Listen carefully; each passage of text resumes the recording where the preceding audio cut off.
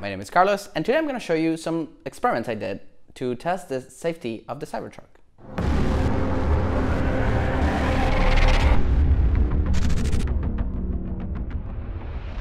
There are a lot of videos out there about the Cybertruck, but the question I never see asked, uh, actually I see it asked all the time, but never answer or even speculate about, is about safety. The concern, of course, is that most cars use their body to absorb the impact, but as we all know, the Cybertruck is different.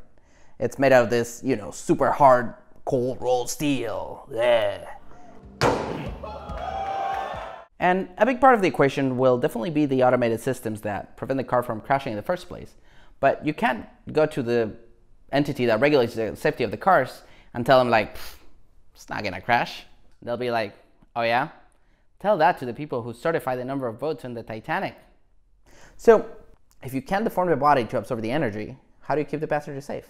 I have a couple of ideas that I wanted to test. First, I needed some testing subjects. I needed something fairly fragile, but also consistent and you know that I could get a bunch of copies of. And hopefully they'll look cool when they break.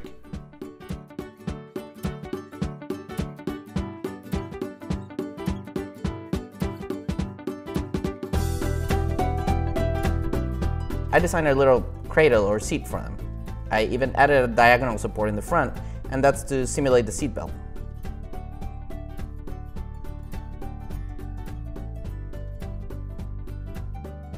Cool. For the body of the Cybertruck, I got a picture from Google. Then I scaled it so my egg would be about the size of a human.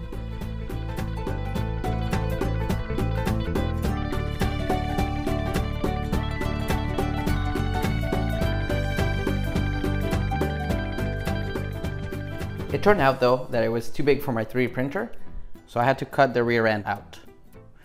It won't look as cool, but it shouldn't affect the test since I'll be testing different methods against each other. Well, that's printing. Let's talk about our methods to absorb the energy.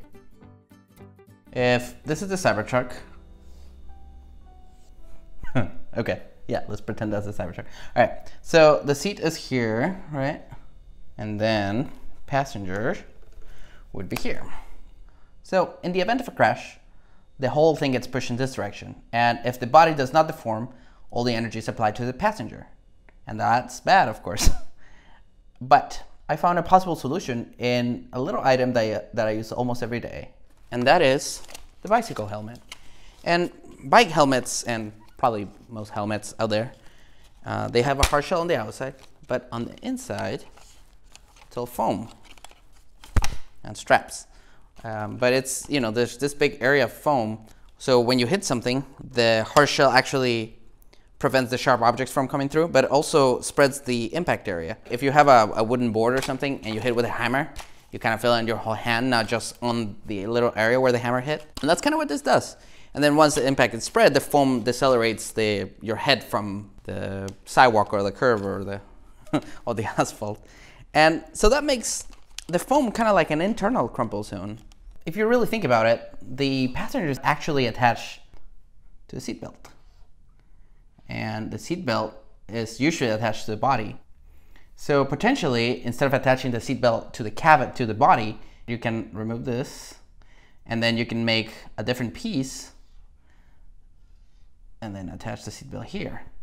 This piece, let's say the cabin piece, Actually, I should have made it a different color, but it doesn't matter. So this piece, uh, let's say this is the cabin, can move at a different speed than the rest of the body.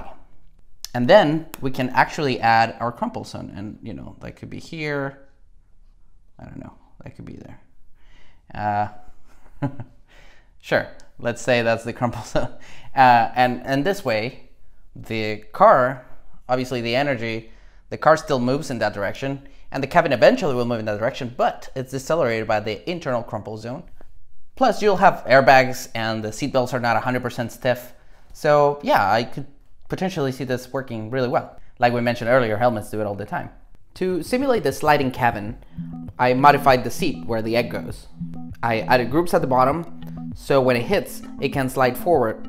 Then I 3D printed it, and You've seen this, yeah. I gotta put the plastic in, the do, yeah. Oh yeah, time lapse, of course. and uh, after that, oh, oh, sorry, I forgot. I gotta take it out. Yeah, unstick it. Cool.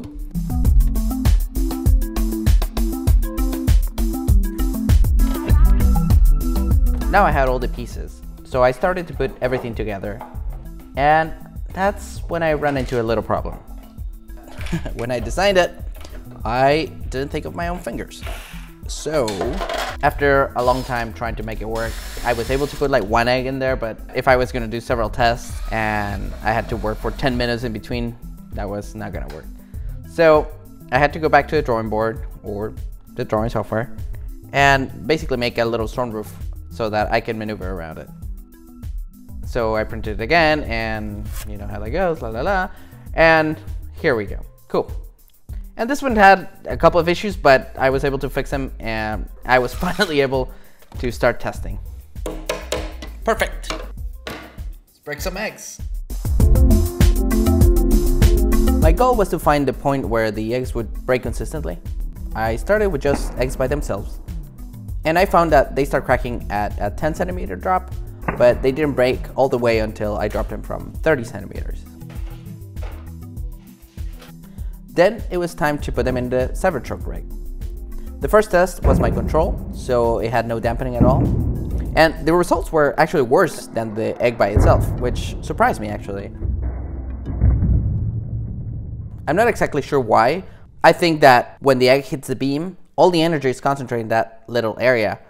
Imagine falling down into the ground versus falling down into a narrow beam. I've never done it, but I think the beam would hurt worse. Since all my dampening methods will have the same design for the seat, they should be comparable to each other. But, you know, it's still surprising. Now it's time to test the first dampening method.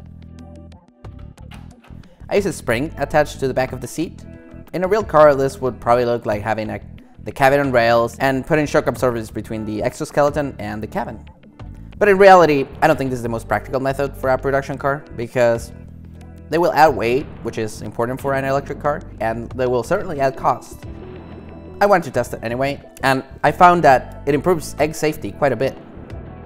They started cracking around 45 centimeters, and they consistently started breaking at 65, which is over three times as high as with no dampening.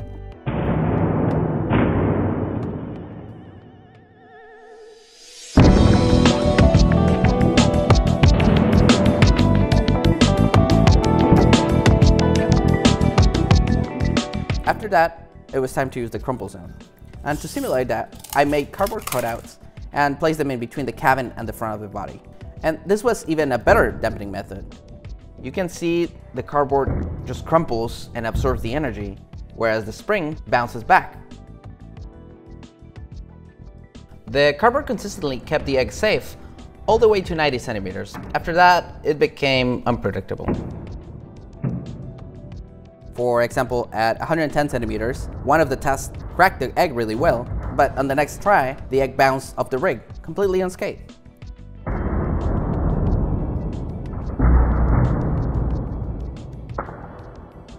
I was running out of eggs at this point after breaking almost 50.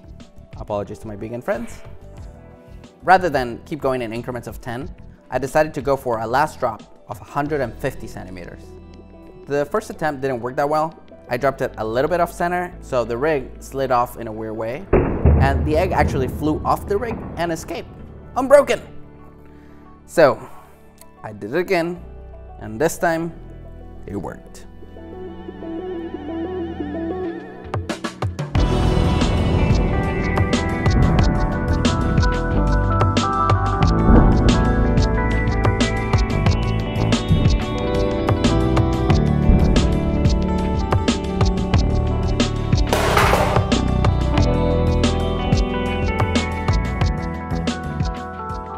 So in conclusion, yeah, that was a lot of eggs. Uh, I was just trying to do a proof of concept and not actually trying to do a Cybertruck for eggs, so that'll be cool though. Obviously, the scale is off and I'm just using cardboard and like a spring that I stole from an old lamp. But the point was to prove that there are ways to decrease the amount of energy that goes into passengers, even if the shell is really tough. And I don't know what ultimately what they're gonna do, but they can optimize the crumple zones or the materials or the even the, you know, they can do simulations and a bunch of stuff. So I'm pretty sure the Cybertruck is gonna be really safe, uh, at least for passengers. For pedestrians, yeah, I don't know. Other than the automated systems that everyone's talking about, I haven't really given that much thought, so we'll see. anyway, I hope you enjoyed this video. Subscribe if you like, uh, and I'll see you in the next one. Thanks.